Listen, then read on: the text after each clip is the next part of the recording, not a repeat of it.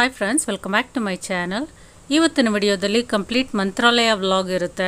Last ವಿಡಿಯೋದಲ್ಲಿ ವಂದೇ ಭಾರತ್ ಎಕ್ಸ್ಪ್ರೆಸ್ಸಿಂದ Bangalore to Mantralaya travel ಹೇಗಿತ್ತು, ಏನೆಲ್ಲ ಫೆಸಿಲಿಟೀಸ್ ಇತ್ತು ಕಂಪ್ಲೀಟ್ ಡೀಟೇಲ್ಸ್ ವಿಡಿಯೋ ಮಾಡಿದ್ದೀನಿ. ಯಾರಿನ್ನು ನೋಡಿಲ್ಲ, ಖಂಡಿತವಾಗ್ಲೂ ಚೆಕ್ ಮಾಡ್ಕೊಳ್ಳಿ.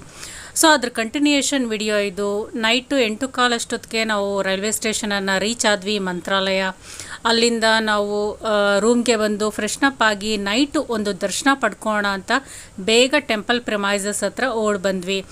ನೈನ್ ಓ ಕ್ಲಾಕ್ಗೆ ದರ್ಶನ ಕ್ಲೋಸ್ ಅಂತ ಹೇಳಿದ್ರು. ಆದರೂ ಸಹ ಟ್ರೈ ಮಾಡೋಣ ಅಂತ ಬಂದ್ವಿ. ಹೊರಗಡೆ ಬಂದ ತಕ್ಷಣ ಈ ವ್ಯೂ ಏನಿದೆ? ಅಪ್ಪ ಗೂಸ್ ಬಂಪ್ಸ್ ಎಲ್ಲ ಎದ್ದು ನಿಂತ್ಕೊಳ್ಳುತ್ತೆ ಅಂತಾರಲ್ಲ ಆ ರೀತಿ ಸಖತ್ ವ್ಯೂ ಈ ವ್ಯೂಗೋಸ್ಕರ ಖಂಡಿತವಾಗ್ಲೂ ಇಲ್ಲಿ ನೈಟ್ ಸ್ಟೇ ಮಾಡಲೇಬೇಕು ಅಂತ ಹೇಳ್ತೀನಿ. ಇದೆಲ್ಲ ಹೊಸದಾಗಿ ಕನ್ಸ್ಟ್ರಕ್ಷನ್ ಆಗಿರುವಂಥದ್ದು. ನೈಟ್ ಟೈಮು ಇಲ್ಲಿನ ಒಂದು ಲ್ಯೂಮಿನೆನ್ಸು ಕಣ್ಣಿಗೆ ರಮಣೀಯ ಅಂತ ಹೇಳ್ಬೋದು.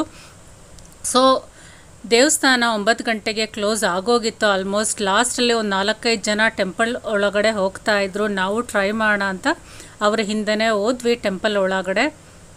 ರಾಯರು ನಮಗೆ ರಾತ್ರಿನೂ ಸಹ ಒಂದು ದರ್ಶನವನ್ನು ಕೊಟ್ಟರು ಬಾಗ್ಲಾಗೋದಕ್ಕಿಂತ ಮುಂಚೆ ಒಂದು ದರ್ಶನ ಕೊಟ್ಟರು ಆವತ್ತು ಯುಗಾದಿ ಹಬ್ಬ.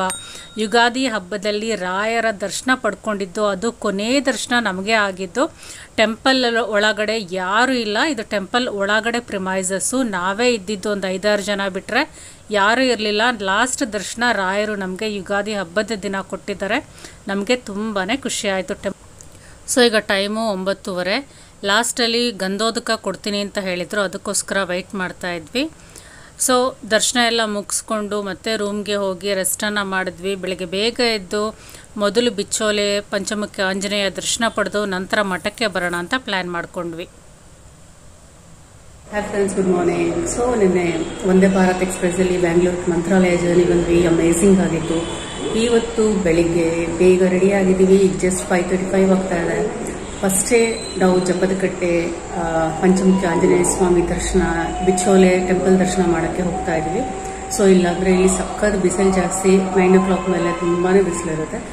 ಮೊದಲು ಅಲ್ಲಿ ಹೋಗಿ ದರ್ಶನ ಮಾಡ್ಕೊಂಡು ಬಂದು ಆಮೇಲೆ ರಾಯರ ಮಠಕ್ಕೆ ಭೇಟಿಯನ್ನು ಕೊಡ್ತೀವಿ.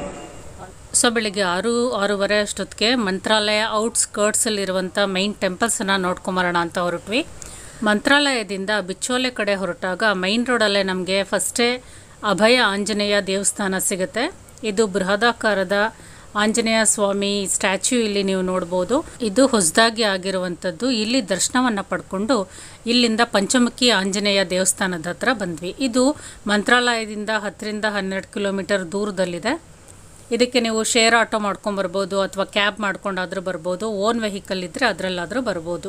ಸೊ ಪಂಚಮುಖಿ ಆಂಜನೇಯ ದೇವಸ್ಥಾನಕ್ಕೆ ಬಂದರೆ ಇಲ್ಲಿನ ಸುತ್ತಲೂ ಅನೇಕ ಅಚ್ಚರಿಗಳನ್ನು, ವಿಸ್ಮಯಗಳನ್ನು ನೋಡ್ಬೋದು. ಇಲ್ಲಿ ಆಂಜನೇಯ ಸ್ವಾಮಿಯ ಪಾದಗಳು ಇದೆ, ನೋಡ್ತಾ ಇರ್ಬೋದು ನೀವು. ಆಂಜನೇಯ ಸ್ವಾಮಿಯ ದರ್ಶನವನ್ನು ಪಡ್ಕೊಂಡು ಒಳಗಡೆ ವಿಡಿಯೋಸ್ ಎಲ್ಲ ಅಲೋ ಮಾಡೋದಿಲ್ಲ. ಸೊ ದರ್ಶನ ಪಡ್ಕೊಂಡು ಹೊರಗಡೆ ಬಂದ್ವಿ. ಟೆಂಪಲ್ ಸುತ್ತಲೂ ಅನೇಕ ವಿಸ್ಮಯಕಾರಿ ಬಂಡೆಗಳನ್ನು ನೀವು ಇಲ್ಲಿ ನೋಡ್ಬೋದು. ಇಲ್ಲಿ ಆಂಜನೇಯ ಸ್ವಾಮಿ ಉಪಯೋಗಿಸ್ತಾ ಇದ್ದಂಥ ವಿಮಾನ ಆಗಿರ್ಬೋದು, ದಿಂಬು ಹಾಸಿಗೆ ಎಲ್ಲನೂ ಇಲ್ಲಿ ಬಂಡೆಗಳ ರೂಪದಲ್ಲಿ ಇದೆ. ಅದನ್ನು ಆಂಜನೇಯ ಸ್ವಾಮಿ ಉಪಯೋಗಿಸ್ತಾ ಇದ್ರು ಅಂತ ಇಲ್ಲಿನ ಜನರು ಹೇಳ್ತಾರೆ. ಸೊ ಈಗ ನೀವು ನೋಡ್ತಾ ಇರುವಂಥದ್ದು ಆಕಾಶ ವಿಮಾನ ಅಂತ ಕರೀತಾರೆ. ಇದು ಆಂಜನೇಯ ಸ್ವಾಮಿ ಉಪಯೋಗಿಸ್ತಾ ಇದ್ದಿದ್ದು ಅಂತ ಅಲ್ಲಿ ಹೇಳಲಾಗಿದೆ.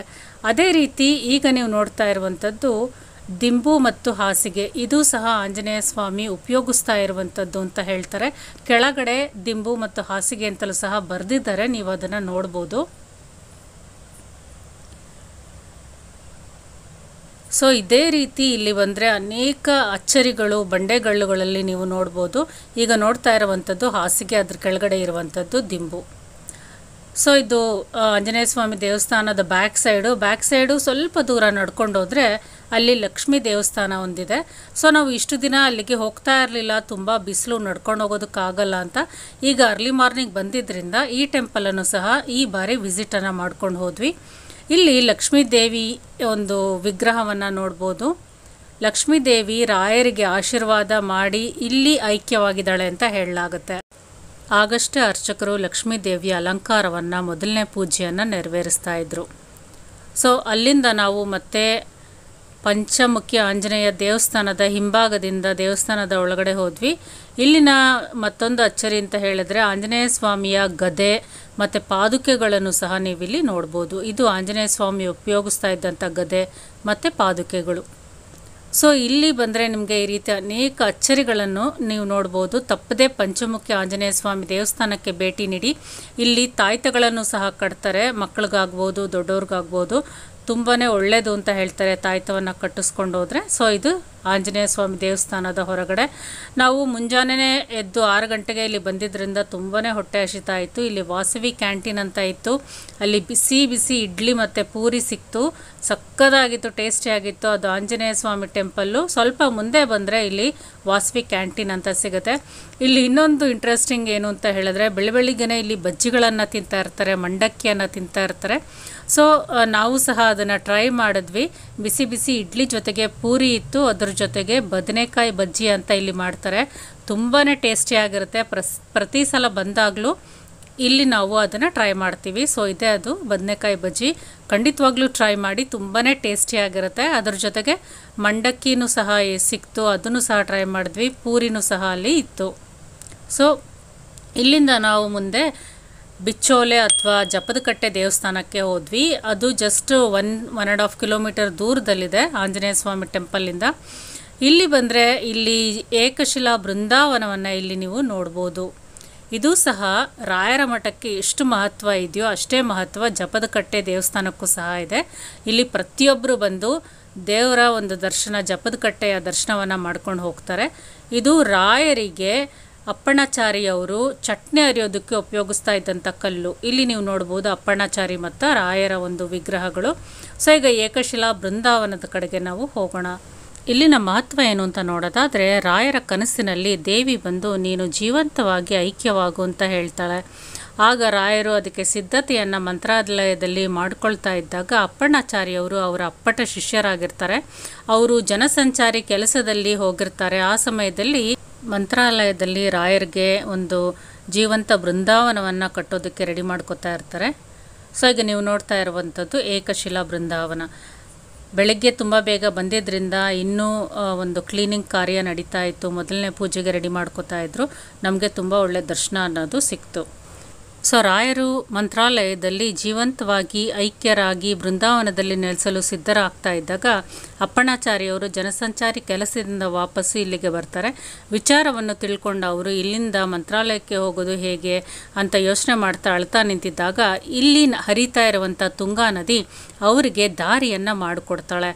ಅಪ್ಪಣಾಚಾರ್ಯವರು ಇಲ್ಲಿಂದ ಮಂತ್ರಾಲಯಕ್ಕೆ ಹೋಗೋಷ್ಟರಲ್ಲಿ ರಾಯರು ಅಲ್ಲಿ ಬೃಂದಾವನದಲ್ಲಿ ಜೀವಂತರಾಗಿ ಐಕ್ಯರಾಗೋಗಿರ್ತಾರೆ. ನಂತರ ಅಪ್ಪಣಾಚಾರಿಯವರು ಅಲ್ಲಿ ಹೋಗಿ ದುಃಖತಪ್ತರಾಗಿದ್ದಾಗ, ರಾಯರು, ನೀನು ದುಃಖಿಸಬೇಡ, ನೀನು ಇರುವಲ್ಲಿಗೆ ಬಂದು ನಾನು ಐಕ್ಯನಾಗ್ತೀನಿ, ಅಲ್ಲಿ ಒಂದು ಏಕಶಿಲಾ ಬೃಂದಾವನವನ್ನು ಸ್ಥಾಪನೆ ಮಾಡು ಅಂತ ಹೇಳ್ತಾರೆ. ಆದ್ದರಿಂದ ಅಪ್ಪಣಾಚಾರಿಯವರು ಇಲ್ಲಿ ಬಂದು ಒಂದು ಏಕಶಿಲಾ ಬೃಂದಾವನವನ್ನು ಸ್ಥಾಪನೆ ಮಾಡ್ತಾರೆ. ಇಲ್ಲಿ ಬಂದು ಸಹ ರಾಯರು ನೆಲೆಸಿರ್ತಾರೆ ಅಂತ ಒಂದು ನಂಬಿಕೆ ಇದೆ. ಇಲ್ಲಿ ಮೊದಲನೇದಾಗಿ ಬಂದು ತುಂಗಾ ನದಿಯಲ್ಲಿ ಸ್ನಾನ ಮಾಡಿ ಏಕಶಿಲಾ ಬೃಂದಾವನದ ದರ್ಶನ ಪಡೆದ್ರೆ ತುಂಬಾ ಒಳ್ಳೆಯದು ಅಂತ ಹೇಳ್ತಾರೆ.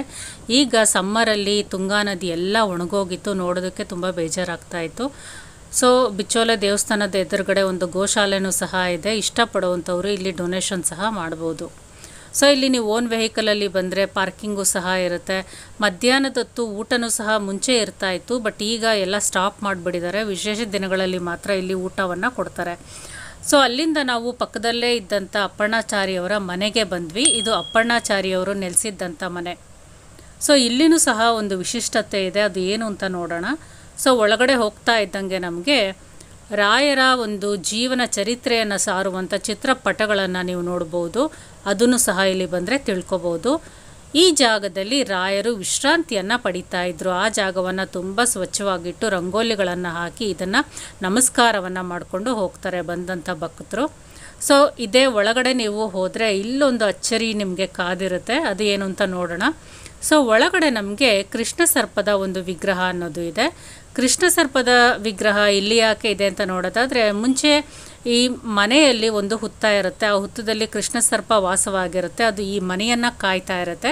ಈ ಮನೆ ತುಂಬ ಹಳೇದಾಗಿ ಬಿದ್ದೋಗೋ ಸ್ಥಿತಿಗೆ ಬಂದಾಗ ಅದನ್ನು ರಿನೋವೇಟ್ ಮಾಡಬೇಕು ಅಂತ ಹುತ್ತವನ್ನು ಹೊಡೆದಾಕ್ತಾರೆ. ಅದರ ಒಳಗಡೆ ಈ ಒಂದು ಕೃಷ್ಣ ಸರ್ಪದ ಒಂದು ವಿಗ್ರಹ ಅನ್ನೋದು ಇರುತ್ತೆ. ಈಗಲೂ ಸಹ ಕೃಷ್ಣ ಸರ್ಪ ಅಲ್ಲಿ ನೆಲೆಸಿದೆ, ಇಲ್ಲಿ ಕಾಯ್ತಾ ಇದೆ ಅಂತ ಒಂದು ನಂಬಿಕೆ ಇದೆ. ಇಲ್ಲಿಗೆ ಬಂದವರು ಒಂದು ತೆಂಗಿನಕಾಯಿನ ಸಂಕಲ್ಪ ಮಾಡಿಕೊಂಡು ಈ ಒಂದು ವಿಗ್ರಹದ ಮುಂದೆ ಇಟ್ಟು ಹೋದರೆ ಅವರ ಸಂಕಲ್ಪ ಖಂಡಿತವಾಗ್ಲೂ ನೆರವೇರುತ್ತೆ. ಇಲ್ಲಿಗೆ ಬಂದವರು ಒಂದು ತೆಂಗಿನಕಾಯನ್ನು ಇಲ್ಲೇ ತೆಗೆದುಕೊಂಡು ಸಂಕಲ್ಪ ಮಾಡಿಕೊಂಡು ಕೃಷ್ಣ ಸರ್ಪದ ಮುಂದೆ ಇಟ್ಟು ಒಂದು ನಮಸ್ಕಾರವನ್ನು ಮಾಡಿ ಸಂಕಲ್ಪ ಮಾಡ್ಕೊಂಡು ಹೋಗ್ತಾರೆ. ಖಂಡಿತವಾಗ್ಲೂ ಇದು ಸುಮಾರು ಜನಕ್ಕೆ ನಿಜ ಆಗಿದೆ. ಸೊ ಇಲ್ಲಿನ ದರ್ಶನ ಮಾಡಿದ್ರೆ ತುಂಬಾ ವಿಶೇಷ ನಿಮಗೆ ಫಲಗಳು ಸಿಗುತ್ತೆ ಅಂತ ಹೇಳ್ಬೋದು. ಇದೆಲ್ಲ ನಿಮಗೆ ಹತ್ರ ಹತ್ರನೇ ಇದೆ ವಾಕಬಲ್ ಡಿಸ್ಟೆನ್ಸು ಬಿಚೋಲೆಯಿಂದ ಸೊ ಅಲ್ಲಿಂದ ನಾವು ಮತ್ತೆ ಮಂತ್ರಾಲಯಕ್ಕೆ ಬಂದ್ವಿ, ರಾಯರ ದರ್ಶನ ಪಡ್ಕೊಳ್ಳೋಣ ಅಂತ. ನಿನ್ನೆ ರಾತ್ರಿ ನೋಡಿದ್ರಿ, ಇಲ್ಲಿನ ಲೈಟಿಂಗ್ಸು ಎಷ್ಟು ವಿಜೃಂಭಣೆಯಿಂದ ಇತ್ತು ಅಂತ. ಈಗ ಬೆಳಗಿನ ಒಂದು ವ್ಯೂ ಸಹ ತುಂಬಾ ಚೆನ್ನಾಗಿರುತ್ತೆ. ಹೊರಗಡೆನೆ ಚಪ್ಪಲ್ ಸ್ಟ್ಯಾಂಡ್ ಇದೆ, ನೀವು ಅಲ್ಲಿ ಬಿಟ್ಟು ಮೊದಲನೇದಾಗಿ ರಾಯರ ದರ್ಶನ ಪಡ್ಕೊಳ್ಳೋದಕ್ಕಿಂತ ಮುಂಚೆ ಈ ಊರಿನ ಗ್ರಾಮ ದೇವತೆಯಾದ ಮಂಚಾಲಮ್ಮನ ದರ್ಶನವನ್ನು ಮೊದಲು ಪಡ್ಕೋಬೇಕು. ಇದು ರಾಯರ ಮಠದ ಪಕ್ಕದಲ್ಲೇ ಇದೆ. ಮಂಚಾಲಮ್ಮನ ದರ್ಶನ ಪಡ್ಕೊಂಡು ನಂತರನೇ ರಾಯರ ದರ್ಶನಕ್ಕೆ ಹೋಗಬೇಕು. ಸೊ, ಒಳಗಡೆ ಪೂಜೆ ಮಾಡ್ತಾ ಇರುವಂಥದ್ದು ದೇವಸ್ಥಾನದ ಹೊರಗಡೆ ದೊಡ್ಡ ಸ್ಕ್ರೀನಲ್ಲಿ ಹಾಕಿ ಬಿಟ್ಟಿರ್ತಾರೆ. ಈಗ ದೇವಸ್ಥಾನದ ಒಳಗಡೆ ಹೋಗೋಣ. ಯಾರು ಮಂತ್ರಾಲಯ ನೋಡಿರಲ್ಲ, ಅವ್ರಿಗೆ ಖಂಡಿತವಾಗ್ಲೂ ಈ ಒಂದು ವಿಡಿಯೋ ನೋಡಿದ್ರೆ ಖುಷಿ ಆಗುತ್ತೆ. ಇಲ್ಲಿನ ಏನೆಲ್ಲ ವಿಸ್ಮಯಕಾರಿ ಸಂಗತಿಗಳಿದೆ ಅಂತ ಕಂಪ್ಲೀಟಾಗಿ ವಿಡಿಯೋದಲ್ಲಿ ನಿಮಗೆ ಅರ್ಥ ಆಗುತ್ತೆ. ಈಗ ರಾಯರ ಮಠದ ಒಳಗಡೆ ಬಂದಿದ್ದೀವಿ. ಇಲ್ಲಿ ಟೆಂಪಲ್ ಪ್ರಿಮೈಸಸನ್ನು ವಿಡಿಯೋ ತಗೋ ತಗೊಳ್ಳೋದಕ್ಕೆ ಅಲೋ ಮಾಡ್ತಾರೆ. ರಾಯರ ಗರ್ಭಗುಡಿ ಒಳಗಡೆ ವಿಡಿಯೋ ಮಾಡ್ಕೊಳ್ಳೋದಕ್ಕೆ ಅಲೋ ಇಲ್ಲ. ಸೊ ಇದು ಟೆಂಪಲ್ ಪ್ರಿಮೈಸಸ್ಸು ರೈಟ್ ಸೈಡ್ ಈ ಕಡೆ ಬಂದರೆ ನಿಮಗೆ ತುಲಾಭಾರದ ಕೌಂಟರ್ ಇರುತ್ತೆ, ಸೇವಾ ಕೌಂಟರ್ ಇರುತ್ತೆ, ಪೂಜಾ ಸಾಮಗ್ರಿಗಳ ಅಂಗಡಿಗಳಿರುತ್ತೆ, ಪುಸ್ತಕದ ಅಂಗಡಿಗಳಿರುತ್ತೆ, ಏನು ಬೇಕಾದರೂ ನೀವು ಕೊಂಡ್ಕೋಬೋದು. ಎದುರುಗಡೆ ಕಾಣಿಸ್ತಾ ಇರುವಂಥ ಬಾಗಿಲು ದೇವ್, ದೇವರ ದರ್ಶನಕ್ಕೆ ಒಳಗಡೆ ಹೋಗುವಂಥದ್ದು.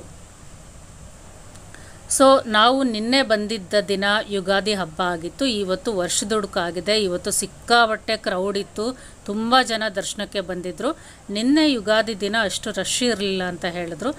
ಇವತ್ತು ತುಂಬ ತುಂಬ ತುಂಬಾ ರಶ್ ಇತ್ತು. ಆದರೂ ಸಹ ಕ್ಯೂ ತುಂಬ ಬೇಗನೆ ಮೂವ್ ಆಗ್ತಾ ಇತ್ತು. ಹತ್ತರಿಂದ ಹದಿನೈದು ನಿಮಿಷದಲ್ಲಿ ಒಂದು ದರ್ಶನ ಮುಗಿದೋಗ್ತಾ ಇತ್ತು.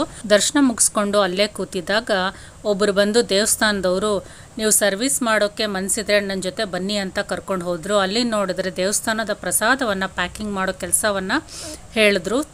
ತುಂಬಾ ಖುಷಿಯಾಗೋಯ್ತು ಯಾರಿಗೆ ಇಂಟ್ರೆಸ್ಟ್ ಇರುತ್ತೋ ಅವರು ಈ ರೀತಿ ಪ್ರಸಾದವನ್ನು ಪ್ಯಾಕಿಂಗ್ ಮಾಡೋ ಕೆಲಸದಲ್ಲಿ ವಾಲಂಟಿಯರ್ ಆಗಿ ಹೋಗಿ ಮಾಡ್ಬೋದು. ನಾವು ಸುಮಾರು ಹೊತ್ತು ಈ ಕೆಲಸವನ್ನು ಮಾಡಿ ನಂತರ ಮಧ್ಯಾಹ್ನ ಆಗಿತ್ತು. ಭೋಜನಾಲಯದ ಕಡೆಗೆ ಹೋದ್ವಿ. ಬೆಳಿಗ್ಗೆ ರಾತ್ರಿ ಎರಡೂ ಟೈಮ್ ಉಚಿತ ಅನ್ನ ಪ್ರಸಾದ ಇರುತ್ತೆ. ಟೆಂಪಲ್ ಒಳಗಡೆನೆ ಇದೆ ಇದು ಭೋಜನಾಲಯ. ಸೊ ಇದೇ ದಿನ ನಮಗೆ ಸಂಜೆ ಆರು ಗಂಟೆ ಹದಿನೈದು ನಿಮಿಷಕ್ಕೆ ಬ್ಯಾಂಗ್ಳೂರು ಟ್ರೈನ್ ಇತ್ತು. ಅದನ್ನು ಕ್ಯಾಚ್ ಮಾಡಿ ಬೆಳಿಗ್ಗೆ ಐದು ಗಂಟೆ ಅಷ್ಟೊತ್ತಿಗೆ ಬ್ಯಾಂಗ್ಳೂರನ್ನು ರೀಚ್ ಆದ್ವಿ. Bangalore to Mantralaya Vande Bharat express blog miss ಮಾಡಿದೆ ನೋಡಿ. ರಾಯರಿಗೂ ಎಲ್ಲರಿಗೂ ಒಳ್ಳೆಯದನ್ನು ಮಾಡಲಿ. ಎಲ್ಲರಿಗೂ ನಮಸ್ಕಾರ.